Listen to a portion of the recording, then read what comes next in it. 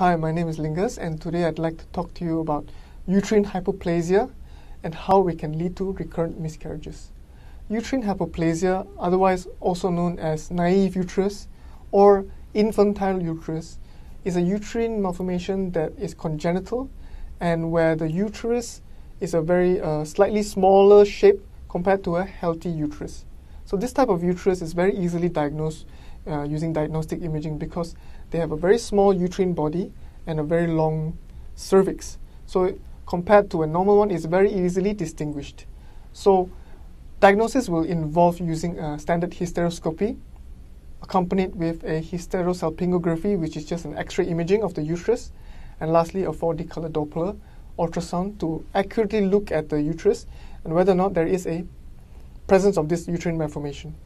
So naive uterus or uterine hypoplasia has a tissue composition imbalance as well. So that it means that there's more connective tissue than muscle tissues, causing poor blood flow in this uh, uterus. And during a pregnancy, it's especially dangerous for the fetus uh, growth development. Further, uh, this type of uterus, because of its nature, a naive uterus is much more smaller than a normal uterus. So there is very limited room for the fetus to grow, especially towards a late pregnancy.